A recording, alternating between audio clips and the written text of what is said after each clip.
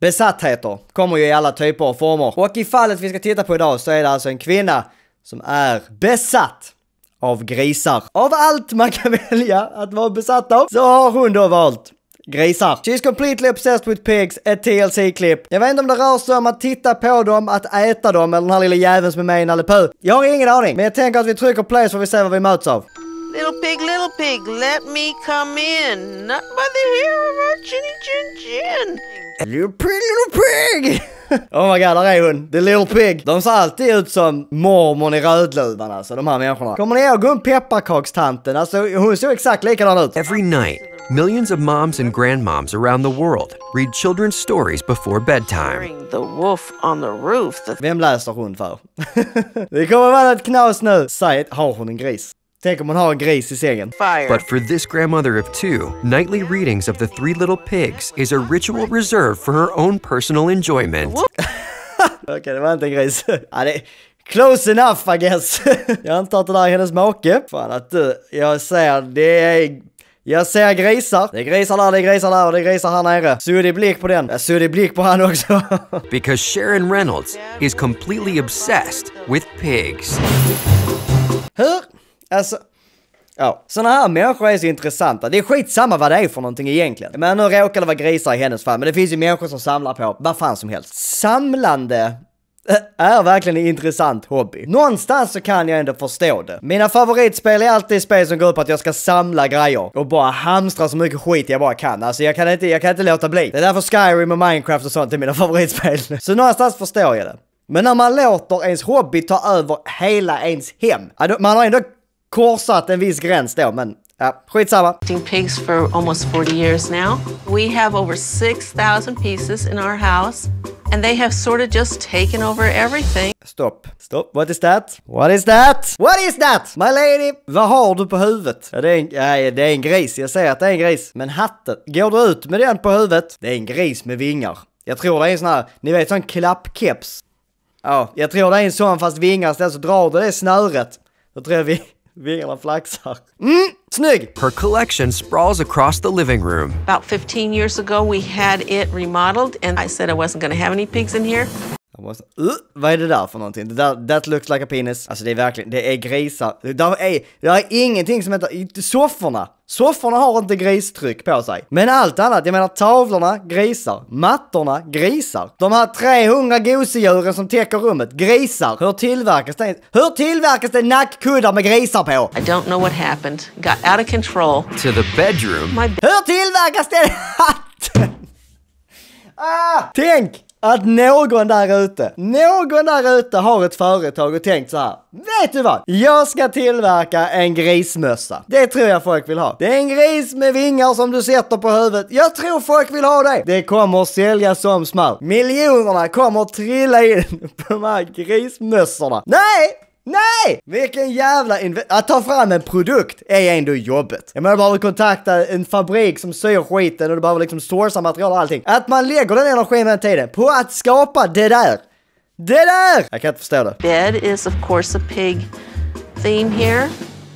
I have several quilts. I've had to make these though because you can't buy a pig quilt. Okej, så hon syr egna grisöverkast. Det måste ju vara grisar över fucking allt. Jag menar det är grisar. Hon har en tapet med grisar på. Där är grisar inne i vad jag tror är duschen. Titta på den grisen! the bathroom, Here we even shower with pigs. You can see them all in there. We even have a shower head that's a pig. Hon har ett duschhus med en gris. Accepterar man detta som partner till en sån här människa? Nog för att man älskar sin partner. Men det finns ändå gränser, måste jag ändå säga. Han kanske också älskar grisar, jag vet inte. Men alltså, om min flickvän hade kommit och sagt nu ska vi skaffa en gris, ett grismunstycke till duschen. Då hade jag ju ifrågasatt mina val i livet. det är ju så! I have tried to stop, to at least slow down the collection of pigs. I just explained to her, I said, Sharon, we don't have enough money for a bigger house. We don't have money for a bigger house. Du kan inte skaffa ett större hus för att du ska få plats med mer grisar. Det går ju inte. Den här mannen alltså. Jag bara, jag har försökt att bromsa in grisandet. Alltså boy, jag hade varit så här. "Eh, Du får det här rummet. Här får du täcka med hur mycket gris du vill. Grisan är allt som önskas. Och så låter vi resten av huset vara. Så när det rummet är fullt, då får du göra det av med en gris för att stoppa in en annan gris. You don't have enough wall space left. I do have ceiling still that I can put stuff on. but my husband might think I was a little nuts. Du. My husband might think I'm a little, a little nuts. Har du tittat i spegeln och sett vad du har på huvudet? You are a little nuts! Dessa gre de jävla griskarna, de är rätt obehagliga. Va, ja, vad är det för äcklig, äcklig gris den? Den också, äcklig gris! He might tell his coworkers that his wife has done slipped over the edge with the pig thing. Hon har en grismus. Hon har en grismus! Har hon så här grisunderkläder och sånt också? I don't even wanna know. Jag vill inte veta. Jag har inte sett en enda nasse ändå. Det är ändå den kändaste grisen av dem alla skulle jag vilja mena. I think about my collection every hour when I'm out shopping, looking at things. If I find a pig, gotta have it. Du är ju tokig. Hon är ju, ja det står i och för sig att hon är obsessed. Men hon är verkligen besatt. Hon sa det enda jag tänker på när jag är ute är grisar. Att hon letar efter nya grisar och köper. Hur mycket pengar har du lagt på gris undrar A jag? lot of times they're not big expenses, but it's kind of like getting pelted to death with popcorn. Over a period of time, if you have $105 pigs, it's still $500. Vem köper en pig för 100? Vem köper en gris för 1000 spänn? Det ska vara en jävla nice gris för att det ska vara värt 1000 kronor. Sharon spends up to two hours daily compulsively cleaning her massive collection. Hon lägger två timmar om dagen på att städa sina gri- grisar! Ja, det krävs ju, fan det är så jävla mycket gris att det måste bli dammet som fan. Jag menar det kan bli dammet bara här, jag lever på 33 kvadratmeter. When I was a mm. teenager, I did not invite people over to my house. Du, jag förstår dig! Jag förstår dig! Jag hade inte bjudit hem någon till det här huset vare sig jag var barn, tonåring eller vuxen. Sharon's love affair started in 1973 when she met her first real pig. Men okej, sen 1973 har hon då varit besatt av grisar för att hon träffade en gris. Åh herregud, okej, ja. I used to work as a teacher's aide in a kindergarten, and the teacher one day brought a pig in. Vänta, what? Hon jobbade alltså som assistentlärare och en dag så tog då läraren med sig en gris till skolan. Okej. Alltså jag är uppvuxen i Skåne, inte ens vi har grisar på lektionerna. Just putting it out there. and had it in a playpen. And she said it will be up to you to take care of it. And I said, Well, I don't mind. I kind of liked pigs. That year for Christmas, I got my first two pigs. Va? Stopp! Den här läraren tar med sig en gris till skolan och bara så här, varsågod! Ta den här grisen, du- måste ta hand om den här grisen nu. Man kan inte bara bli dumpad en gris i knät. Det är en sak om du jobbar på en gård, men vad fan? And then I got obsessed and started looking. Every time I go somewhere, I look for a pig. Vänta, är det riktiga grisar vi pratar om eller pratar vi om liksom gosedjursgrisar? För om läraren tog med sig ett gosedjur, som då råkar vara en gris, och gav den till henne bara du måste ta hand om den här.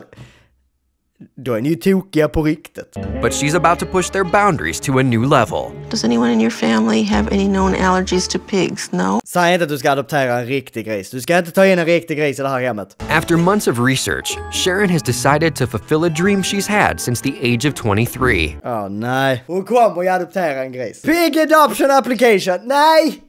Nej! Sharon, du ska inte... Du ska inte ha en gris. Du ska inte ha det. En gris är inte en katt, det är inte en hund, det är inte ett marsvin, det är inte ett husdjur. Det är ett gårdsdjur, den behöver space. Det kan inte bo i ert jävla cramped house. Everyone in agreement in the decision with adopting a pig. Are you real sure about this? I'm not real sure, but if I think you are. Alltså, din simp. Nog för att man ska stötta sin partner, men det finns fan gränser. När de kommer med en riktigt jävla dålig idé, då säger man, vet du vad? Det här är en dålig idé. Det här gör vi inte. Du kommer tacka mig sen. Det är därför du har partners liv, för att stoppa dig från sånt här dumt shit. De ska finnas där och stötta dig, men de ska också stoppa dig från att göra stupid things. Jag förväntar mig samma tillbaka. Kommer jag säger nu ska jag adoptera en liten apa, då vill jag att någon säger nej, det ska du inte göra. Well, you have to be sure too. You're the daddy. Well, I'm sure that you're sure.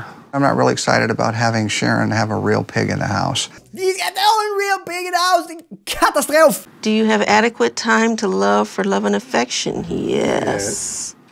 For the pig, not the husband. Du förstår att de blir stora va? Hela grejen, minigrisar är ju inte a real thing. Utan eh, om du köper en minigris, något som du tror är en teacup pig eller whatever, de kan fortfarande bli skitstora. Det finns liksom inga garantier på att en gris kommer vara liten. Du menar alltså att du ska ha en sugga i ditt hem? This is a bad idea.